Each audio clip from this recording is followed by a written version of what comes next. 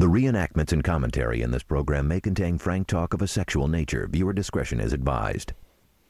Pow, Kazam, and Wham! No, it's not the soundtrack from that old Batman TV series.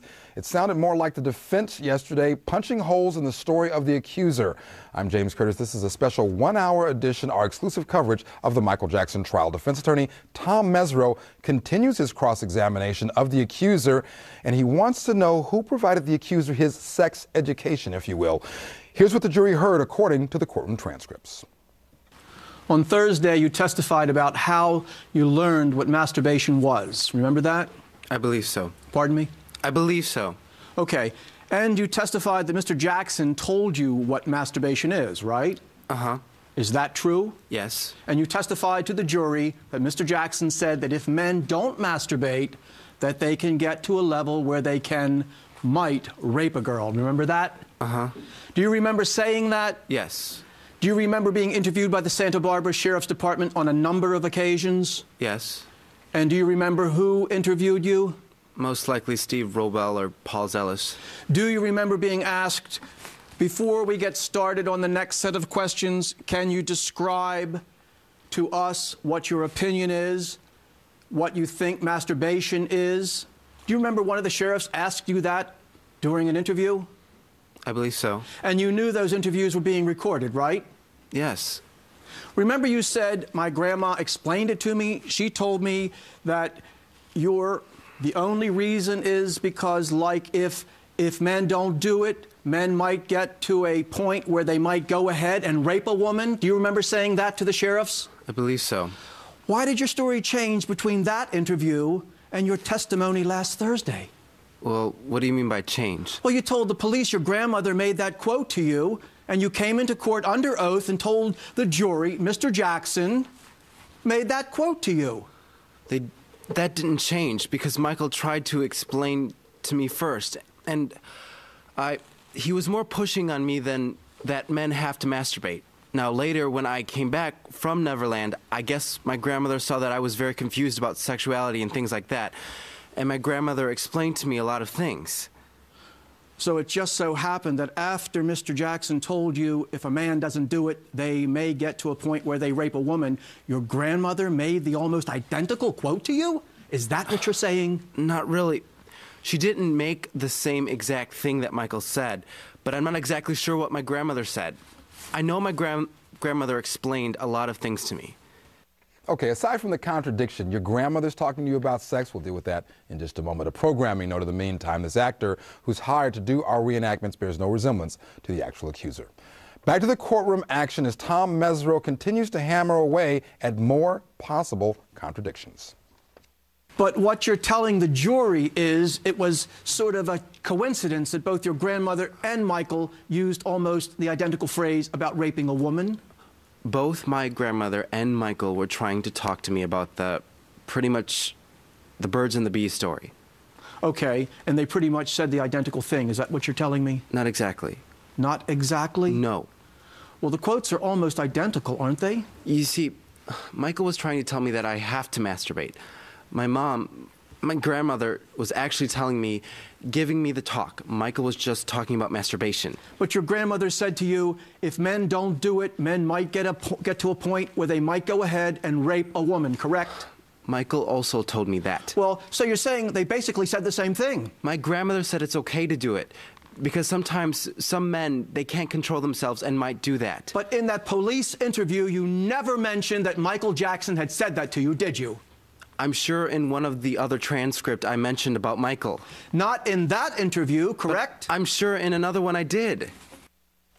All right, folks, this is huge to say the very least, and I apologize for my Batman analogy, but this is a Mack truck through the prosecution's point, isn't it? This is, I think, the highlight of the day for me. Uh, there are many things that follow, yes. and there are many things that other people have looked at to look at what was the great moment.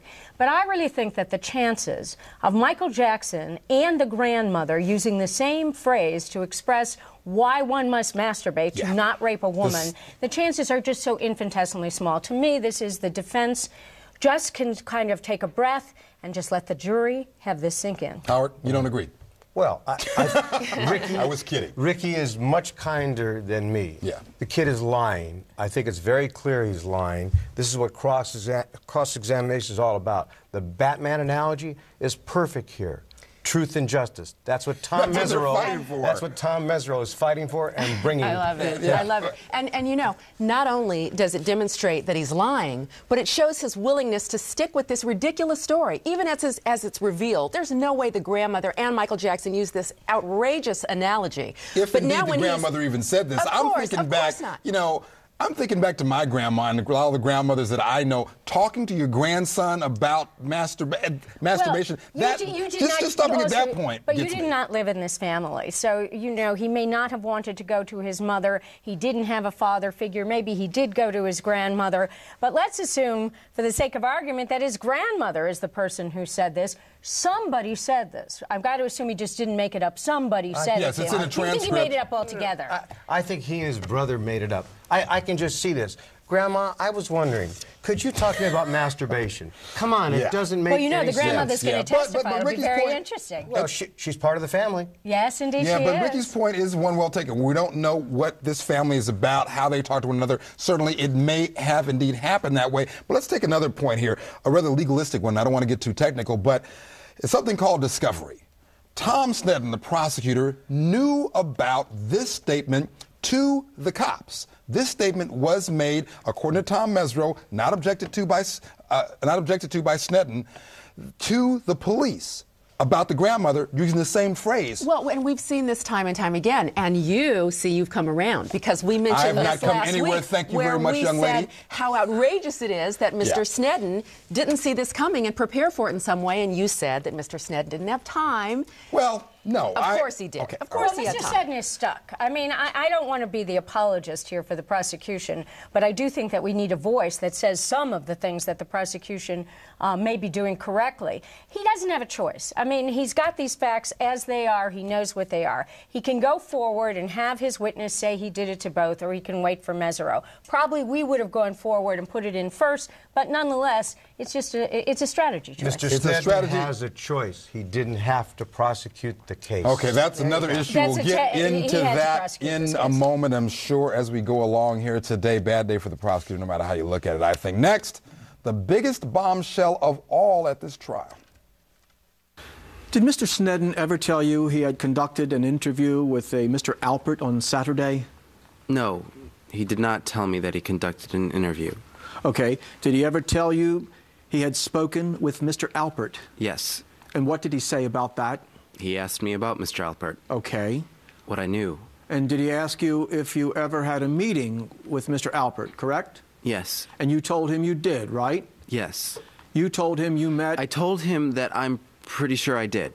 I did, because I didn't really remember too good. You didn't remember too good that you had told Mr. Alpert that Mr. Jackson had never touched you sexually? Well, I believe it happened because he was a dean of the school, and so I'm pretty sure I had a conversation with him. Okay. And did you tell Mr. Sneddon you were pretty sure you had had a conversation with Dean Alpert at John Burroughs School? Yes. Did you tell Mr. Sneddon approximately when you had that discussion? No. Did Mr. Sneddon ever ask you when you had that discussion? No. Where did the discussion with Dean Alpert take place? I don't remember. It was probably in his office. Okay. And the purpose of the discussion was what, if you know? It was probably about Michael. Okay. You say, probably about Michael? Uh huh. But you're not sure. I'm not sure what the whole conversation was about. Okay, but sometime in that conversation, Dean Alpert looked you in the eye and said, Are these allegations that Mr. Jackson sexually abused you true? Right? Uh huh. And you said they were not true, right? Yeah. Yeah, I told him that Michael didn't do anything to me. Okay, Mr. Alpert asked you twice whether or not Michael Jackson had ever done anything of a sexual nature to you, correct? I don't know if he asked me twice. Well, the first time he asked you, you shook your head no, right? I don't know. And the second time he asked you, you said to him, No, he did not touch me in any sexually inappropriate way, correct? I don't know. You don't know? I'm pretty sure I told him that. Okay. But I mean, I don't know how exactly it happened. A lot of I don't knows coming up, Howard Weitzman, and this information with respect to this teacher apparently coming over the weekend. Yes, and something none of us knew about. Yeah. Uh, As I understand it, was volunteered by the lawyer for the teachers, which is really interesting because they watched what was taking place, and I think they knew this kid was less than truthful, and they wanted that information out there, and they talked with both the prosecutor and the defense. And Sean, later on, we're going to see and hear about testimony, potential testimony at least, about this kid's past at this school. How does that play and what does that have to do with this case? Why is it in there? Well, one, he has disciplinary problems, which shows him to be troubled. And of course, Mr. Mesereau is going to say that that's going to lead to him being a liar in this case. But it also, as we're going to see later on, it shows that this is a kid who stands up to his teachers. And if he's somebody who stands up to his teachers, is he really the shrinking violet um, who is going to endure abuse by an adult that's, like that's, Mr. that- That's an excellent point. Ricky, But- hold but- on. okay. Hold on, hold on just a second. I got to take this break. Mm-hmm. But the idea of confrontation really comes uh, to the fore as we continue with a teacher's testimony or testimony about a teacher and letters to Daddy Michael. Stay with us.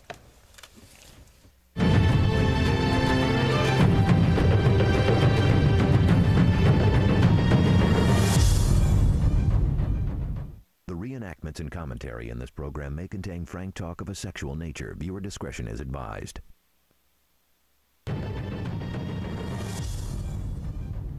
Welcome back. The defense continues with more rough and tumble cross examination of this teenage accuser. Here's what the jury heard according to the courtroom transcripts. Okay. Now, based on what you've already said, you also discussed a teacher named Gerald, right? Yes. When I started asking you questions about your discussion with Mr. Sneddon, the first person you mentioned was Mr. Gerald, correct? Yes. Mr. Gerald was also a teacher at the school, right? Yes. Okay, and in summary, you had some disciplinary problems with Mr. Gerald, right? I had a lot of disciplinary problems. Excuse me? I had a lot of disciplinary problems. You had a lot of them? Uh huh. What disciplinary problems did you have? I would get into fights sometimes at school. Pardon me? I would get into fights sometimes at school. Okay, you got into a lot of them, didn't you? Not a lot. I got into a few. Okay, and were you ever asked to leave the school? No, I don't think so. Were you ever asked to leave class? Yes. Okay, and approximately when did that happen? Um, well, a lot of teachers at John Burroughs Middle School, once anyone even talks out of turn, they'll send you out of class. Well, you got up in class and accused teacher Gerald of having his balls in his mouth, right? His balls in his mouth? Yes. No, because I was never in one of his classes. Do you deny doing that? I don't even remember ever doing that. Next, bad attitude or a brave boy? Now, you said you were accused of being on drugs, right? Yes. And you say that was false, right? Yes. I don't. Will never go on drugs. Okay, who accused you of being on drugs? Mr. Gerald, Okay, and did he ask you if you were on drugs? he was doing it in a way that he was trying to make fun of me. Were you escorted away from the other students at one point? During the detention? Yes. Actually, all the students in there were kind of cheering me on because they all knew how Mr. Gerald is, and no one's ever stood up to him before. And you stood up to the teacher, right? I was already standing up, so Excuse me, I'm sorry, I didn't hear what you said. I guess so. You did stand up to teacher Gerald, right? Yes. You confronted him, right? Yes, after he had brought himself down to my level by doing those things, by not. See, because I believe teachers are higher than me, because I'm just a student. When a teacher does something like that and makes fun of me and tries to say I'm on drugs, he's no longer the level of a teacher. He comes down to my level.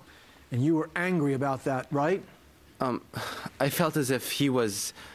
didn't deserve respect as a teacher. Didn't deserve respect as a teacher? No. Okay, so you did not respect him because you didn't think he deserved it, right? I didn't respect him as a person. And you told him that, didn't you? I didn't tell him in those exact words. Pardon me? I didn't tell him, I don't respect you. I didn't tell him in those exact words.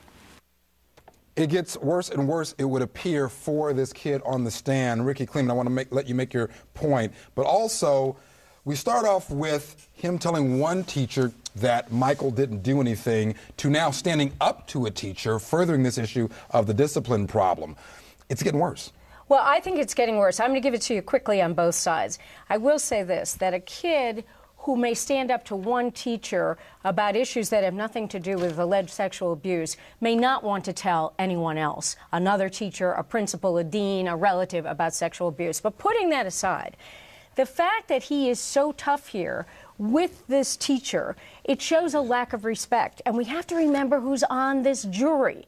You have people on this jury who have been teachers, yeah. and they will have their own assessment of what he is and, saying. And it also shows a different side of this boy that we haven't seen. They've put him out here as this sick, weak, you know, cancer patient. And now we see this confrontational student when the other students wouldn't stand up to this teacher. He's the one who did. But, Howard, can't you take that very same set of facts, having dealt with victims of sexual assault as a prosecutor, you get a lot of what the experts call acting out. When kids especially being a victim of uh, this horrific disease, cancer. And if he is a molestation victim, you get that kind of aberrant behavior, behavior based on things that happen to the kid, not just because he's a knucklehead. Yes. However, what you're seeing live uh, and in real time is Tom Mesereau putting the pressure on this kid to bring out his real attitude. And the jury has the opportunity to see this kid, in my opinion, for who he is. This is a witness you have to put pressure on. And what you're seeing is a, a, a defiant attitude, well, a confrontational attitude with the attorney in the courtroom in front of the jury. And there's more to come. There is more to come, but will it inure, will it help the prosecution insofar as they will be able to come back and say, look, this is a kid who's had a rough life, and this is what happens to kids who don't have a really good childhood. Now, the defense, though, switches the line of questioning from the accuser's school to his affectionately worded communications with Michael Jackson. Okay, have you had a chance to look at that document? Yes. Does it refresh your recollection about your sending a card to Michael Jackson that said, I miss you, Daddy Michael? Yes. Okay, how often would you send cards or letters to Michael Jackson? I'd probably send them maybe once a month or something like that. And you used to ask him for his phone numbers, right? He would give me some of his phone numbers. Pardon me? He would give me some of his phone numbers. He gave them. But correct me if I'm wrong. Did you tell the jury last week that he gave you phone numbers that ended up not working? No, I told you he gave me phone numbers, and after a while they didn't work. And you would then routinely ask him for numbers that did work, right? Not really routinely, but I mean, I asked him. Okay. Do you know approximately when you began sending letters or cards to Michael Jackson? Probably when the numbers didn't work no more. And all we had was Evie to talk to. Do you remember sending a letter to Michael Jackson that said, I love you, Daddy Michael, and tell my little brother and little sister that I love and care about them. Thank you for everything, Daddy Michael. Thank you for being my Daddy Michael. Thank you for helping me beat, be happy and beat cancer. Do you remember sending him a letter like that? Not really, but I mean, I probably did. Now the question has to become was it the accuser's family who actively pursued Michael Jackson and not the other way around? Do you recall ever writing to Michael Jackson about his injuring his foot? Yes. And tell the jury what you told Michael Jackson about that. I just told him, like, I hope he feels better or stuff like that. You told him that your family was praying for him, true? I think so. You said you felt sorry about his foot being broken, right? Yes. And you said you couldn't wait till you could play at Neverland again, right? Yes. You called him Daddy in that letter, right? Yes, I believe so. Is that true? I don't know but I'm pretty sure I did. Okay. You reminded him that he keeps all of his promises, right? Yeah. He would tell me he keeps every promise he says. Okay. And you reminded him of that in your letter at one time, right? Yes. These cards that I just showed you, letters and cards, you started sending them shortly after you met Mr. Jackson, correct? Well, not really, because I think we I think I started wanting to send the cards when Michael wasn't talking to me anymore. When he wasn't talking to you anymore? Yeah. And approximately when do you think he wasn't talking to you anymore? Two months into my cancer. Excuse me? Two months into my chemotherapy. Approximately when would that be? August or September of 2000. Okay, so August or September of 2000, you and your family started sending nice letters and cards to Michael Jackson, correct? Yes. And those are the letters and cards that I showed you a little while ago, right? Yes. And it was your understanding your mother used to send him cards and letters as well, right? I think so. And she used to refer to him as Daddy, didn't she? I don't think she referred to him as daddy. You never heard her say that once? well, toward me, me saying that. Because, I mean, my dad had left, and I started calling him daddy after my dad left because I didn't have a dad. And your mother approved of that, correct? Yeah?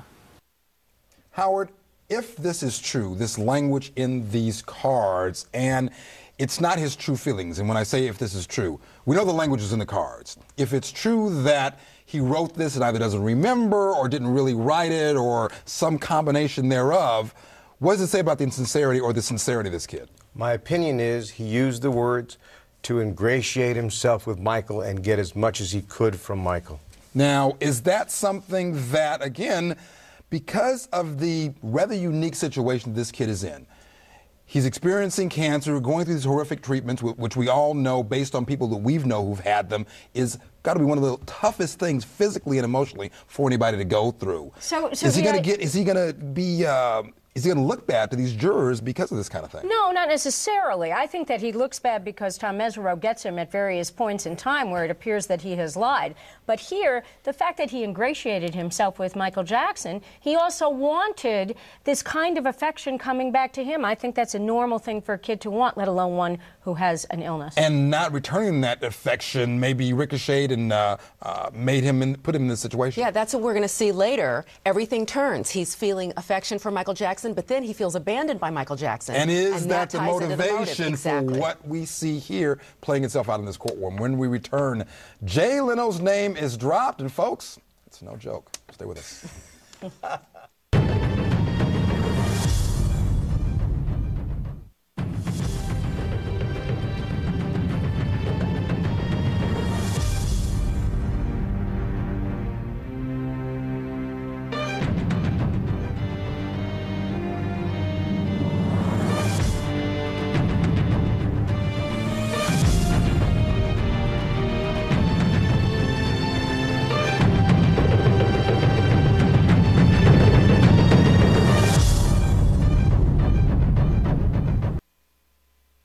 reenactments and commentary in this program may contain frank talk of a sexual nature. Viewer discretion is advised.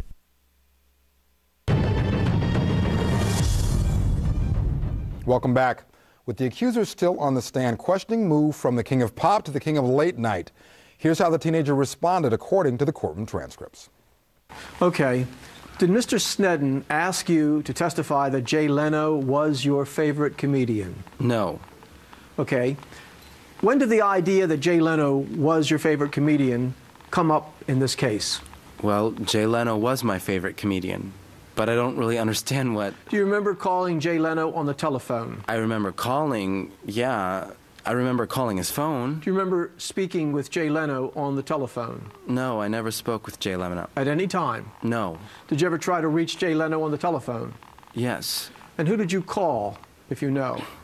I called a phone number that I was given. Where'd you get the phone number? It was either Jamie Masada or Louise Palanker. Did you dial the number? Yes. Was your mother with you? No. Was anybody in the background? Well, when I called him, I'm pretty sure that I was in the hospital. So either it could have been my dad or maybe a nurse that would come in to do my vital signs or something. And you dialed the number, right? Yes. And do you have any idea who answered the phone? Answering machine. And did you ever actually get Mr. Leno on the phone? No. So you deny you've ever spoken to him on the phone, right? I've never spoken to Jay Leno. Well, even though the accuser denies talking to Jay Leno, Mesereau continues to ask about the comedian. Okay. You never mentioned Mr. Leno to psychologist Stanley Katz, right? No, I don't think so. And you never mentioned Mr. Leno to Lieutenant Klapakis during any interview, correct? No, I've never mentioned Jay Leno to anybody except I'm sorry? Except for when they asked me what I know about Jay Leno. To your knowledge, did anybody in your family contact or try to contact Mr. Leno while you were ill? No, because I was the only one with the phone number. Did you ever give it to your mother? No. Ever give it to your father? No. Ever give it to Star? No. Ever give it to your sister Devellin? Her name is Davellin, but no, I never gave it to her. Okay. You left a message on his machine, correct? Yes. Did you ever get a call back from anyone claiming they represented Mr. Leno? No. All right. So what you're saying is if anybody spoke to Mr. Leno and said they were you, it was certainly a false statement, right? Object as argumentative, Your Honor. Sustained. All right. Now, the point here, Rikki Klieman, is that during the opening statement of the prosecutor, he mentions Jay Leno. And this, uh, this witness, this accuser, in his testimony brings up Jay Leno. So, was there any communication that shouldn't have happened between the prosecutor and this witness? Is it, is it worth even making? Oh, of course it's worth making. I think it's just a little subtlety on the part of Tom Mesereau. What he's saying is, Listen, Jay Leno wasn't in this case until the prosecutor knew that I, Tom Mesereau, was going to subpoena him to this court. And the reason, of course, that I'm subpoenaing him is because he is going to show that you're lying. So it's just that little subtle question that has a lot of context. But I got to say this Mesereau better deliver the goods. Yeah, you think he will? Yeah, yeah. Well, Jay Leno obviously is on the witness list, and I'm presuming Mr. Mesereau has spoken with him and knows what he's going to say. And also, apparently, uh, Gavin said these uh, spoke about Mr. Leno to psychologist Katz Yes. and to Lieutenant Klapakis, who also are going to come in and say, "Yeah, he talked about Yeah. Leno." Yeah, now Howard lie, explained- lie, lie. Or, Yeah, or yeah, well- there's another side to that, though. There could be the side that Mesereau says that he never spoke to anybody about Leno until he knew, and the prosecutor knew that he that Mesereau was subpoenaing Leno. Could go mm-hmm. either way, I mm-hmm. guess. Now, Howard, explain for us quickly with respect to Leno coming in. Does he have to come in? If he I- gets I- a subpoena, I was how just does going to make work? that point.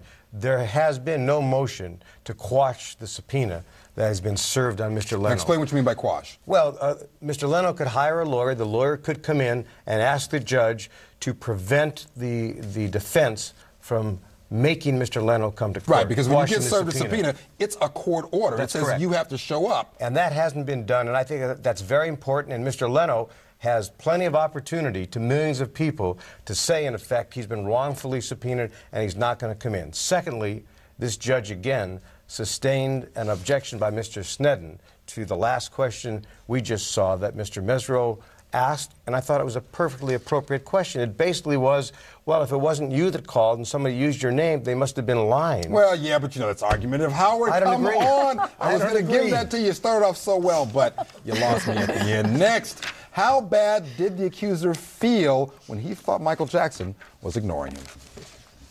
Okay. Now, you complained to the Santa Barbara sheriffs that after I was done with my cancer stuff, you never saw Michael again, right? No. Not until the Martin Bashir thing. Okay. And you wanted to see him after you were in remission, correct? Yes. You wanted to visit Neverland after you were in remission, right?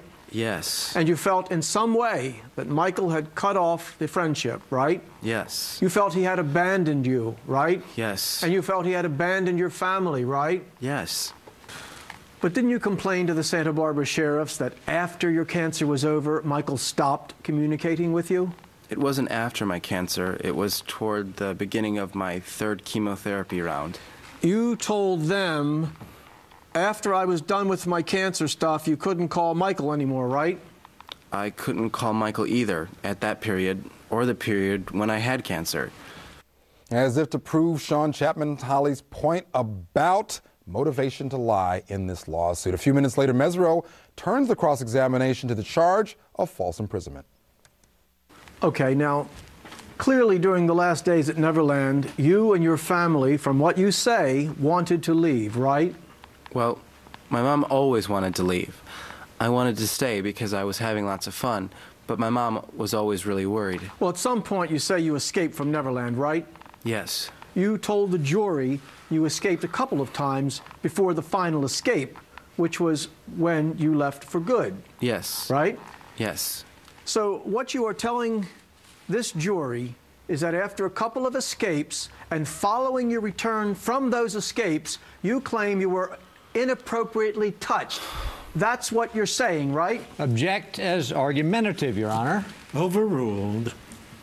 All right, Shawn Chapman Holley, since I picked on you a moment ago about having your point proven in this courtroom, I'm not going to let you answer that question anymore. But the idea of I was having fun at Neverland, therefore I didn't want to leave, but I was being abused or had been abused, that's a little bit of a I can't really get those two together. Yeah, it doesn't make sense. Just like um, later, I guess we'll hear from the mother, either from Mr. Sneddon or from Mr. Mesereau, that she was falsely imprisoned, but yet was at the spa and getting the leg waxing. Another disconnect. It doesn't make sense. This isn't what you do if you were under these circumstances. that And they're we have the, the whole problem too with this false imprisonment count, which is the one count that really, really bothers me, is again this whole issue we've been talking about about time.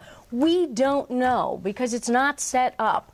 When is he having fun? Is he having fun five years ago? Is he having fun two years ago? When is he having fun? And h- that's it creates a disconnect, to use your word. It's a huge point, but Howard, let me play prosecutor that I, you know, bleed and love. Actually, yeah, you do a good For just job a moment, that. I do a pretty good job. Um, isn't it plausible that, again, you have a kid, if he's being molested or had been molested and is going through this horrific chemotherapy treatment, he is so emotionally disconnected that he's having fun even though he may be being abused. James, and he I- wants to stay there. I, I'll tell you what bothers me the most. First of all, the, the ground rules keep changing. What do you mean? It's, well, because he's having fun, he's being molested. He, he, he goes whenever he wants, visits family, goes shopping. He's falsely But it's the mind and, of a child, and, Howard. And what I find most offensive is I think they're using cancer as the hook for sympathy to the jury to ultimately get money. And Yeah. that bothers me. And if the jury finds that, it's going to be problems for the prosecution. Well, ahead, a Neverland of wine and bourbon and vodka and rum. Oh my. Sorry for the pun, folks. Stay with us.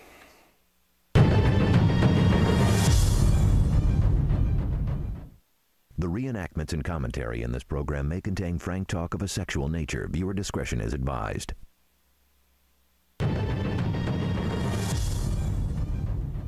Welcome back. Well, was it a perpetual happy hour at Neverland? According to the courtroom transcripts, here's what the jury heard. You've told the sheriffs that Michael Jackson would give you and your brother Bacardi, right? That was one of the things he gave us, yes. That was rum, right? Yes. And you also said he'd give you Skyy vodka, right? Yes. Jim Beam, which was bourbon, right? I don't know what it is, but yes. And red and white wine, right? Yes. Did you drink all this stuff at once? No. It was over the whole period of time that we were over there. Okay, but never once did you taste any of this stuff when Michael wasn't there? No. Okay, never took any alcohol out of the refrigerator in the kitchen, right? No. Never got caught taking alcohol out of the refrigerator in the kitchen, right? I never took any alcohol out of the refrigerator in the kitchen. To your knowledge, was your brother ever caught taking alcohol out of the refrigerator in the kitchen? I was always with him during the day, so no, he didn't. Would you agree that every time you were interviewed, your stories of drinking got worse and worse? Correct? No, You initially told them you didn't drink a lot, that's true. then you started telling them you drank a lot, and then you started telling them we drank every night, correct? Well, a lot would be every night, so it would really. Pardon me?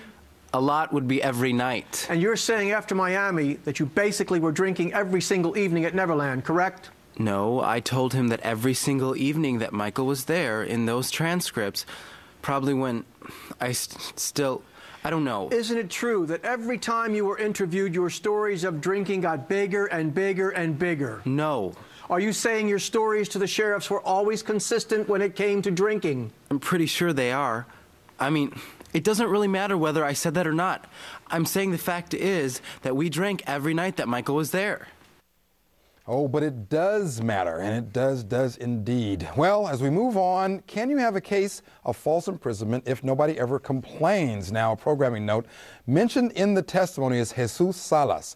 He's the house manager at Neverland. After you say you escaped from Neverland the first time, you went to your grandparents, correct? Yes. And how did you get there? Jesus Salas drove us there. Do you recall anyone ever calling the police and saying, We've just been held against our will? No. Because, like, uh, my mom was. Let me just ask you the questions, okay? Nobody did, right? No. A few days later, you went to back to Neverland, right? I believe yes. And then you say you escaped a second time, correct? Yes. And when you escaped the second time, how did you get out of Neverland? I don't know. Someone drove you somewhere, right? Yeah, probably. Did you go to your grandparents again? Probably. Nobody called the police from your grandparents when you say you escaped the second time, right? No. And then you claim you returned, right? Yes. And you say you finally escaped for good, right? Yes. And when you got back after finally escaping for good to your grandparents, nobody called the police, correct? no. Okay, okay, okay. Uncle, I'm going to tailgate on what Shawn accused me of earlier, Rikki Klieman, but I'm going to address it to you because I know you're going to be nicer to me than Shawn would right now because she likes to gloat. I am indeed changing now from my accusation against Tom Mesereau from yesterday. I thought he was too tough yesterday in the cross examination that we heard, but now I think he can be as tough as he wants to on this kid. I'll tell you, I have gone on record in the past. You and I covered the Blake trial uh, or the Blake preliminary hearing. I have said that Tom Mesereau is one of the finest cross examiners I have ever watched. I believed it then. I certainly believe it now. Tom Mesereau's theory, which a lot of lawyers don't agree with, is to keep this boy on the witness stand as long as he can, explore everything that he can, Yeah. and watch him break over and over again. Other lawyers wouldn't do it. I think Tom is right. Now, the idea, though, Howard Weitzman, is you've got this kid on the stand for a long time. Does it give us any insight as to whether or not Mesereau will fulfill his, I'm going to go ahead and call it a promise, because he says contract in his opening statement, as to whether or not Michael Jackson will get on the stand? Well, uh, Does I- one have anything to do with the other? I can't predict that, and I don't think it does. Okay. But I want to add something. Here's a question Tom Mesereau asked. Isn't it true that every time you were interviewed, your stories of drinking got bigger and bigger and bigger? Let me say, what's getting bigger and bigger and bigger is this witness's nose as he tells each the old Pinocchio lie. analogy. Certainly, certainly that's got to be something that Shawn, this jury is picking up on, and I can't help but also I hate giving you giving you points, Shawn, but I got to do it do it. Does the discipline problem? I know this is Shawn's day. We call this Shawn Day today. Thank you. Do the discipline problems translate into yeah? This is a kid because he was a knucklehead in school. Is somebody who would go drink on his own. Yes, yes. And as uh, Rikki mentioned, we've got former teachers on the jury. They're taking note of all of this. I understand that the jurors are paying close attention, taking careful notes. Yeah. You know, I'm happy to hear that because it's a very conservative jurisdiction, and I'm happy to see that they're paying attention to what this witness is saying and taking notes when they see he's caught in lies. Yeah, and going back to the tenor of Tom Mesereau having actually gone to the courthouse yesterday and sat in the listening room, I can tell you that Tom Mesereau seems to be becoming more and more calm as this mm-hmm. witness becomes more and more frail. Next, is the defense attorney Tom Mesereau setting the stage for motive? A motive for the accuser, not the accused. And what you're saying is that after your interview with the social workers, where you were asked questions about Michael Jackson, you're saying it was after that that inappropriate touching began, correct? Yes. While Mr. Jackson is being investigated by Los Angeles County, true? It it didn't happen until the last few weeks before I left, or two weeks, somewhere around there. Well, let me ask the question again. Okay. The three social workers were from Los Angeles County, true? I think they were. And they were asking you questions about whether Mr. Jackson had ever inappropriately touched you, correct? Yes. And you said no, right? Yes. You knew they were investigating Mr. Jackson, right? No. I thought they were just going to try to ask me, and that was it. I didn't know. But what you're telling the jury is that after this investigation starts, and after you and your family are questioned, Mr. Jackson supposedly starts touching you inappropriately, right? Yes. Until you realized you were not going to be part of Michael Jackson's family, you never made any allegation of child molestation, correct? I didn't want to be part of his family. I just saw him as a father figure. Until you realized Michael Jackson was not going to meet you in Brazil, you never made any allegation of child molestation, right? I didn't even really want to go to Brazil. Until you left Neverland for the last time, you never made any allegation of child molestation, correct? I didn't tell anyone until I left for the last time, correct? And never called the police until after you'd seen two lawyers, right? Object as argumentative, Your Honor. Overruled. Yes. It wasn't until I saw two lawyers until I told the police what really happened. All right, Howard Weitzman, I know you probably want to say this for me. Game over now?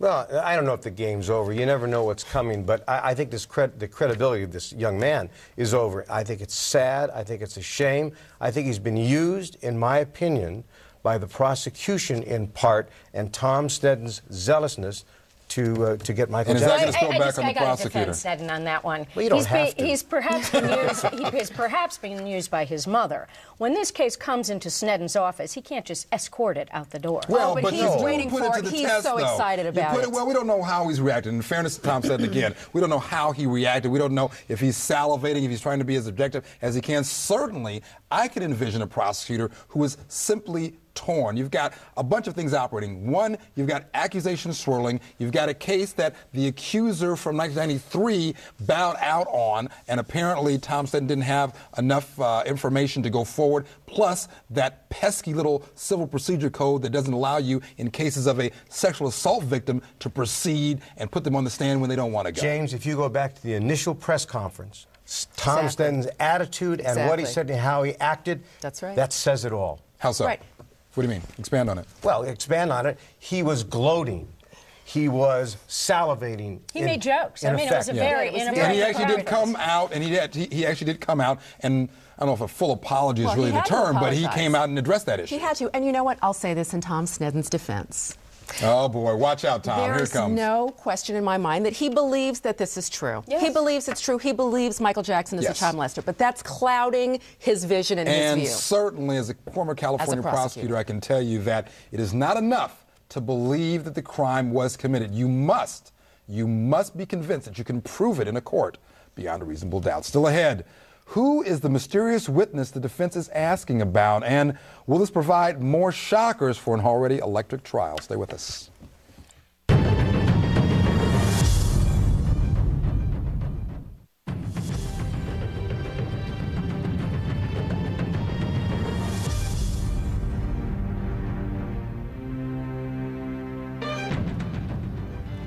Uh, good afternoon. Um, I'm here to announce, as you probably all know by now, that we've filed formal charges, a felony criminal complaint against Mr. Jackson.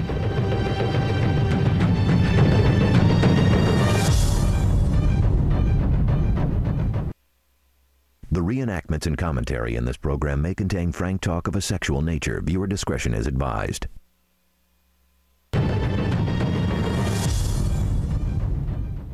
Welcome back. Defense attorney Tom Mesereau goes on to interrogate the accuser about a possible mystery witness, at least a witness whose name we haven't heard up to this point. Here's what happened according to the courtroom transcripts. Do you know someone named Rio? I think he was a little kid that was there for a while. When did you first meet Rio? I don't remember. But do you remember seeing Rio at Neverland? Yeah, he stood there for like a week or Did you stay in a guest house with Rio? no.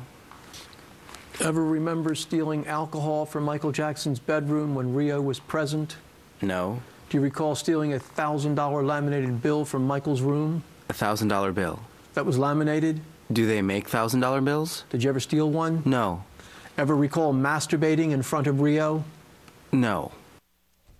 Now, Rikki Klieman, I was actually in the listening room of the courthouse when this particular portion of testimony was played. There was laughter, at least in the listening room. I don't know if it happened in the courtroom, but it seemed to be a genuine, they make $1,000 bills coming from this kid. Well, it, it may be a genuine, and perhaps there is a laminated bill that he did steal because obviously Mesereau has a basis to believe that, or he couldn't ask the question. must. Um, and and it sounds like all of this comes from this kid named Rio, who I guess is another witness we're going to hear testify, who was a little boy. It sounds like that uh, that this young man, this accuser, uh, did or talked about or masturbated in front of. I mean, that's powerful evidence. That's very, very powerful. Now, Howard, I really want to hear what you have to say right about now because you got a bone to pick with my good buddy Shawn. Thank you, James. Well, I, I wouldn't be that uh, direct. However, um, I do believe Tom Sneddon thinks Michael Jackson is a child molester.